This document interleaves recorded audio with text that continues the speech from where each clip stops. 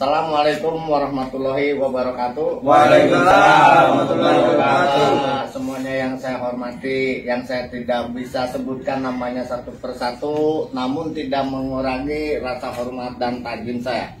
Yang pertama saya mengucapkan dari Bapak Haji Nur Hasan yang telah hasil reses tahun 2021 ya 2021 setelah berhasil saya mengajukan penerangan jalan yaitu ada 10 titik. 10 titik lampu dan 5 titik tiang baru.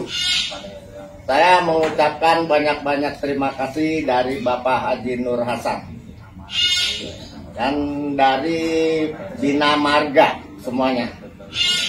Terima kasih atas bantuannya. Assalamualaikum warahmatullahi wabarakatuh